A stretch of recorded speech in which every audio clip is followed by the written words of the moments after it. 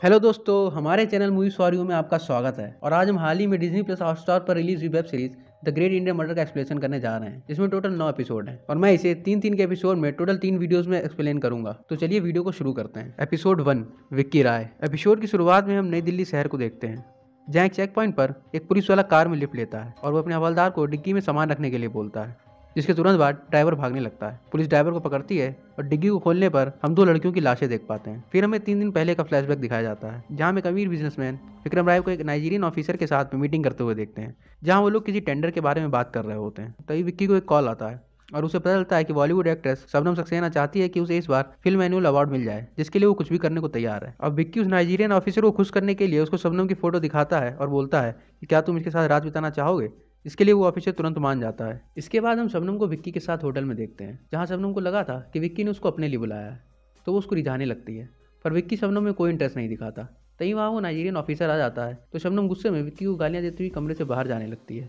पर विक्की उसको ज़बरदस्ती खींच कर कमरे में वापस लाने की कोशिश करता है, जहाँ शबनम उसको कूदने की धमकी देती है इस पर विक्की उसको कूदने का बोलकर उसको लाद मार कर चला जाता है। फिर विक्की किसी को कॉल करता है और उसको लड़की भेजने के लिए बोलता है। इसके बाद हम विक्की और ऑफिसर को नशे में डोलता हुआ देखते हैं।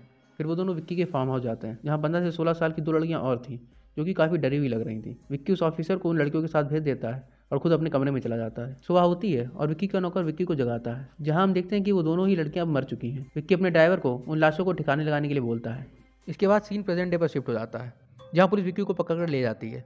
क्योंकि वो कार जिसमें वो दो लाशें मिली थी, वो विक्की के नाम पर रजिस्टर थी। विक्की के अरेस्ट होने के बाद मीडिया में आग की तरह फैलने लगती है। क्योंकि विक्की सिर्फ़ बिजनेसमैन नहीं था, बल्कि छत्तीसगढ़ के होम मिनिस्टर का बेटा भी था। विक्की के केस को अब तीन साल हो जाते हैं और हम अंडमान के आइलैंड को देख पाते हैं, जहाँ पर कुछ आदिवासी पार्टी कर रहे होते हैं। वहाँ कोई एक शहरी आदमी भी बैठा होता है, जब उनका डांस और गाना खत्म होता है, तब वो शहरी आदमी आदिवासियों के मंदिर से एक मूर्ति चुरा लेता है और सुबह उनको पता चलता है कि उनकी मूर्ति चोरी हो चुकी है। अब हम सीधा एक न्यूज़ चैनल के स्टूडियो में पहुँचते हैं, जहाँ एंकर विक्की राय के केस के बारे में बात कर रहा होता है, जहाँ हमें पता चलता है कि हाई कोर्ट ने विक्की राय को दोषी मान लिया है। उसने सुप्रीम कोर्ट में रिहाई के लिए अपील किया है। वहीं हमें पता चलता है कि एक ब्लॉगर है, जो कि विक्की राय के केस पर तीन साल से लगातार टिप्पणी दे रहा है, पर उसकी पहचान किसी को भी नहीं पता है। हम विक्की के पिता जगन्नाथ को दिल्ली के सीएम से बात करते हुए देखते हैं, जहाँ मिनिस्टर, कमिश्नर को एविडेंस बदलने के लिए बोलता है, ताकि विक्की को छोड़ा जा सके। अब विक्की के पिता उस केस से जुड़े सभी पुलिस वालों को खरीद लेते हैं, और इसके बाद एविडेंस में हेरा फेरी शुरू हो जाती है, और सुप्रीम कोर्ट विक्की को रिहा कर देता है। अब हम विक्की के पिता जगन्नाथ को किसी बाबा से बात करते हुए देखते हैं। जहाँ वो विक्की को बाहर निकालने के लिए उस बाबा को धन्यवाद बोलता है, जहाँ बाबा जगन्नाथ को बोलता है कि पुलिस ने उसके दवाई बनाने वाली फैक्ट्री पर रेड कर दी थी। तो जगन्नाथ इस बारे में सीएम से बात कर ले और इतने में ही पुलिस बाबा के आश्रम पर भी रेड कर देती है और वहाँ बाबा हड़बड़ी में भाग जाता है। वहीं हम देखते हैं कि वो चुराई हुई मूर्ति बाबा के आश्रम में ही थी, जो कि फिर से कोई चुरा लेता है और उधर विक्की अपने घर पहुँचता है और हमें पता चलता है कि विक्की की बहन रीतु उसे बिल्कुल पसंद नहीं करती है। पहला तो इसलिए कि वो उसका सौतेला भाई था और दूसरा उसे विक्की का बिहेवियर भी पसंद नहीं था। तभी विक्की अपने वापस आने की खुशी में एक पार्टी रखता है। जिसमें वो शबनम को भी इनवाइट करता है। जहाँ शबनम बोलती है कि पार्टी वाले दिन ही उसका मीडिया में एक इंटरव्यू है, जहाँ वो विक्की की सच्चाई सबको बताएगी और वो विक्की को गालियाँ देते हुए फ़ोन को काट देती है, जिस पर विक्की अपने बॉडीगार्ड पृथ्वी को कॉल करता है और शबनम की बहन का छोटा सा एक्सीडेंट कराने के लिए बोलता है, जिससे कि शबनम इंटरव्यू में ना पहुँच पाए। इसके बाद हम पार्टी की प्लानिंग देखते हैं, जहाँ हम फिर से उस मूर्ति को देखते हैं, जिसको वहाँ कोई रख रहा होता है। अब जिस हिसाब से ये मूर्ति बार बार दिखाई जा रही है, मुझे लगता है इसका कुछ आगे इंपॉर्टेंट रोल होगा। विक्की के ऑर्डर के बाद भी शबनम इंटरव्यू में पहुँच जाती है। और हम देखते हैं कि पृथ्वी गायब है, जहाँ वो विक्की को खूब बदनाम करती है और झूठा बयान देती है कि वो और विक्की रिलेशनशिप में थे। और विक्की ने उसको होटल में बुलाया था और उसके साथ मारपीट की थी। इसके बाद हम पार्टी के रात का सीन देखते हैं, जहाँ सभी बड़े बड़े नेता और अभिनेता पार्टी में आते हैं। वहाँ एक चचा दिखाए जाते हैं, जिनका नाम मोहन कुमार है और उनको गांधी बाबा के नाम से भी लोग जानते हैं। और जिस हिसाब से ये चचा दिखाए गए हैं मुझे लगता है इनका भी कोई खास रोल होने वाला है। पार्टी में वहाँ शबनम भी आती है। अब जैसा कि एक्ट्रेस लोग करते हैं, हमेशा चर्चा में रहने के लिए। वो सुबह तो इंटरव्यू में विक्की के बारे में भला बुला बोलती है और रात में उसी की पार्टी में पहुँच जाती है। वहाँ विक्की और शबनम को बात करते हुए देखते हैं। उनकी बातों से बदलता है कि वो दोनों ही एक दूसरे को बिल्कुल पसंद नहीं करते। और शबनम चाहती थी कि कोर्ट विक्की को सजा दे और विक्की मारा जाए। सीन शिफ्ट होता है और विक्की जेल में वापस आने की खुशी में केक काटता है। और वहाँ आतिशबाजी शुरू हो जाती है। कितने में ही पटाखों की शोर के बीच में एक गोली आकर विक्की के लग जाती है और एपिसोड वन यहीं पर एंड हो जाता है। एपिसोड दो, जगन्नाथ राय। एपिसोड दो की शुरुआत में हम मध्य प्रदेश उन्नीस सौ बानवे में पहुँच जाते हैं। ये वो समय था जब विक्की के पिता जगन्नाथ राजनीति में आने की सोच रहे थे। वो अपने दोस्त बोरा से कहते हैं कि हम राजनीति में आएँगे और नया प्रदेश छत्तीसगढ़ बनाएँगे। इसी के साथ हम जगन्नाथ और विक्की के बीच के रिश्ते को भी देख पाते हैं, जहाँ हमें पता चलता है कि विक्की बचपन से ही बदतमीज है और यहाँ विक्की की एक गलती पर जगन्नाथ उसकी पीठ पर आई एम सॉरी का टैटू बनवा देते हैं। इसके बाद हम दो हज़ार अठारह में पहुँच जाते हैं। ये वो समय था जब विक्की के ऊपर केस शुरू हुआ था, जहाँ जगन्नाथ छत्तीसगढ़ का होम मिनिस्टर था और उसका दोस्त वोरा छत्तीसगढ़ का चीफ मिनिस्टर था। पर विक्की के केस के कारण दोनों में दूरियाँ बढ़ने लगती हैं। फिर हम 2021 में पहुँच जाते हैं, जहाँ विक्की का केस अब खत्म हो चुका है। केस खत्म होने के बाद जगन्नाथ सीएम से मिलने जाता है और बोलता है कि विक्की के केस के कारण वो तीन साल तक बिज़ी रहा था और अब वो फिर से काम शुरू करना चाहता है। इस पर सीएम कहता है कि तुम्हारे बेटे के कारण पार्टी का नाम पहले ही काफ़ी खराब हो चुका है। बेहतर होगा कि तुम इलेक्शन से दूर ही रहो। इस बात पर जगन्नाथ गुस्सा हो जाता है और सरकार गिराने की धमकी देकर वहाँ से चला जाता है। वो अपने असिस्टेंट को ऑर्डर देता है कि वो सभी बड़े बिजनेसमैन के साथ एक मीटिंग फिक्स करे। और इधर सीएम उन बिजनेसमैन को रेट की धमकी देकर चुप करा देता है। जगन्नाथ काफ़ी कोशिश करता है, पर उसके हाथ में कुछ भी नहीं लगता। जगन्नाथ को इलेक्शन के लिए फंड चाहिए होता है, जिससे कि वो तीस एम को खरीद सके। फंड के लिए वह अपने बेटे विक्की से मदद माँगता है, पर विक्की जगन्नाथ की मदद करने से मना कर देता है। ये बोलकर कि वो अभी जेल से वापस आया है और वो अपने बिज़नेस को रिवाइव कर रहा है। यहाँ पर जगन्नाथ बहुत ही ज़्यादा गुस्सा हो जाता है, क्योंकि उसका सारा पैसा विक्की को बचाने के लिए चला गया था। फिर जगन्नाथ उस बाबा को कॉल करता है जहाँ वो उससे पूछता है कि क्या किसी अपने को मारने से पाप लगेगा? जहाँ वो बाबा बोलता है कि शरीर नश्वर है और आत्मा अमर है। तुम बस आत्मा को शरीर से मुक्त कर रहे हो यानी कि किसी अपने को मारने से तुम्हें किसी भी तरह का पाप नहीं लगेगा। इसके बाद हम बार में जर्नलिस्ट को देखते हैं जो कि डेट के लिए आया था। यहाँ वो खुद को सॉफ्टवेयर इंजीनियर बोलकर एक लड़की से इंट्रोड्यूस कराता है। यहाँ पर हमें पता चलता है कि वो लड़की किसी डेटा मॉनिटरिंग कंपनी में काम करती है, जहाँ वो कुछ लोगों के कॉल्स और मैसेजेस को सुनती भी है। और वो जर्नलिस्ट उस लड़की को बहला फुसला कर कहता है, मुझे भी कुछ लोगों की कॉल्स को सुनना है और इसमें तुम मेरी मदद कर दो।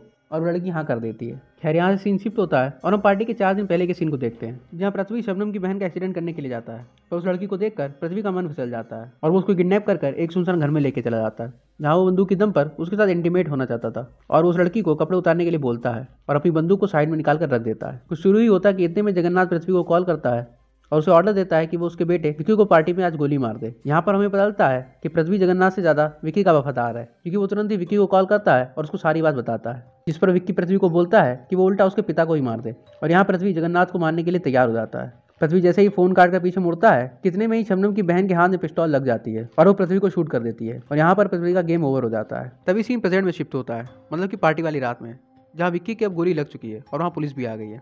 पुलिस बाहर जाने वाले सभी लोगों की तलाशी लेती है, जहाँ उन्हें दो लोगों के पास गन मिलती है और पुलिस उन दोनों को पकड़ लेती है। इसके बाद जगन्नाथ दिल्ली के सीएम से बात करता है, जो कि सारी बात वो जर्नलिस्ट सुन लेता है। इसके बाद वो सीएम से पर्सनली मिल जाते हैं और फिर वो विधानसभा निकल जाते हैं। जहाँ बाहर तो वो रोने का नाटक करता है और अंदर सीएम को पॉइंट करते हुए अपने बेटे के मर्डर में सीबीआई जाँच की मांग करता है। फिर हम दिल्ली के सीएम को देख पाते हैं, जहाँ उन्होंने सीबीआई ऑफिसर सूरज यादव को मिलने के लिए बुलाया था और उनसे कहते हैं कि तुम किसी भी तरह से छत्तीसगढ़ के सीएम वोरा का नाम इस केस में घसीट लाओ और एपिसोड टू का एंड यहीं पे हो जाता है। एपिसोड थ्री मुन्ना और एकेती। एपिसोड की शुरुआत में ही हम उन दोनों लड़कों को पुलिस स्टेशन जाता देखते हैं। जहाँ हवलदार उस मूर्ति को पुलिस स्टेशन के एविडेंस रूम में रख देता है। इसके बाद हम उस ब्लॉगर को देखते हैं जो कहता है कि ऊपर वाले ने न्याय किया है। ऊपर वाले ने देखा कि दो बच्चियों का रेप और मर्डर किया गया है और उसने विक्की राय को किसी और के हाथों मरवा दिया। उधर जगन्नाथ विक्की का अंतिम संस्कार करता है और दूसरी तरफ़ हम ऑफिसर सुधा को देख पाते हैं। तभी वहाँ पर वो जर्नलिस्ट लड़का आ जाता है और हमें पता लगता है कि ऑफिसर सुधा पहले भी विक्की राय के केस में इन्वॉल्व हो चुकी हैं और वो लड़का सुधा से कुछ उल्टी सीधी बातें करता है, जिससे सुधा गुस्से में आकर उसके झापड़ मार देती है। और ये सारी बातें वो लड़का अपने छिपे हुए कैमरे में रिकॉर्ड कर लेता है। इसके बाद सुधा और सूरज इन्वेस्टिगेशन शुरू करते हैं। इन्वेस्टिगेशन की शुरुआत उस पार्टी में पकड़े उन्हीं दो लड़कों से शुरू होती है। सुधा मुन्ना नाम के लड़के से पूछताछ शुरू करती है और अपने जूनियर ऑफिसर मंजोत को मुन्ना के घर भेजती है। जहाँ उस ऑफिसर को मुन्ना के दोस्त लंदन की लाश मिलती है। सुधा मुन्ना से पूछती है कि बता तूने विक्की और अपने दोस्त को क्यों मारा? मुन्ना बोलता है कि उसने किसी को भी नहीं मारा और वो अपनी कहानी सुनाने लगता है। वो बताता है कि हम दोनों सामान चोरी किया करते थे और इधर उधर अपने कनेक्शन से बेच दिया करते थे। इसके बाद हमें मुन्ना की और स्टोरी दिखाई जाती है। और हमें मुन्ना की बहन चंपी दिखाई जाती है। चंपी का चेहरा भोपाल गैस ट्रेजेडी में खराब हो गया था और मुन्ना चंपी का ऑपरेशन कराने के लिए पैसा इकट्ठा कर रहा था और इसके साथ ही वो दुबई भी जाना चाहता था। और हमें पता चलता है कि चंपी एक सोशल वर्कर है, जो कि बच्चों को पढ़ाने का काम करती है। तभी एक मॉल में सामान बेचने के दौरान पुलिस लल्लन को अरेस्ट कर लेती है और मुन्ना घूस देकर लल्लन को छुड़ा लेता है और वो दोनों पार्टी करने के लिए ढाबे पर पहुँच जाते हैं। तभी हम देखते हैं कि कोई आदमी मुन्ना का पीछा कर रहा है। फिर एक शाम वो आदमी मुन्ना के ठिकाने पर पहुँच जाता है और लल्लन को मार देता है। हमें पता चलता है कि वो आदमी बैग को ढूंढ रहा है। जिसमें बहुत सारा पैसा है। फिर वो आदमी देखता है कि उस बैग में पैसा कम है। मुन्ना कहता है कि उसने करीबन बारह लाख रुपया खर्च कर लिया है। ये सुनकर वो आदमी मुन्ना को मारने लगता है और मुन्ना उसे धक्का देकर बाहर से भाग जाता है। सुबह होती है और मुन्ना अपना सामान लेकर नए शहर आ जाता है और वहाँ अपनी सेफ्टी के लिए बंदूक खरीद लेता है। फिर सीन प्रेजेंट में शिफ्ट होता है। जहाँ सुधा को लग रहा था कि वो पैसा विक्की की सुपारी का था और मुन्ना बताता है कि वो पैसा उसने किसी आदमी के पास से चुराया था। इसके बाद हम ऑफिसर सूरज को दूसरे लड़के को इंटेरोगेट करते देखते हैं। सूरज उस लड़के से पूछता है कि तुम कहाँ से हो? तो लड़का बोलता है कि मैं अंडमान से हूँ। सूरज पूछता है कि तुम विक्की घर क्या कर रहे थे? तो लड़का अपनी टूटी फूटी हिंदी में जवाब देता है कि वो अपने भगवान इंगिताई की मूर्ति लेने के लिए वहाँ गया था। और इसके साथ ही वो बताता है कि वो मुन्ना की बहन चंपी का दोस्त है। तभी वहाँ एक ऑफिसर आके कुछ फ़ाइल सूरज को देता है। सूरज फाइल्स को देखता है और कहता है कि तुम्हारा नाम तो माइकल बुसारी है और तुम नाइजीरिया से हो। फिर वो उस लड़के को पीटने लगता है और पूछने लगता है कि बताओ तुम्हारा असली नाम क्या है? तो वो लड़का बोलता है कि उसका नाम इकती है और हम इकती के फ्लैशबैक में चले जाते हैं, जहाँ वो चेन्नई में भटक रहा होता है और उसे वहीं पर असली माइकल बुसारी मिलता है। जो उसकी मदद करने के बहाने उसको फंसा देता है। असल में माइकल पर मर्डर का केस चल रहा होता है। वो एकती को एक ऐसी जगह भेजता है, जहाँ पुलिस वो माइकल समझकर पकड़ लेती है। माइकल बिहार से खून करके भागा होता है और बिहार का एक ऑफिसर एक साल से उसका पीछा कर रहा होता है।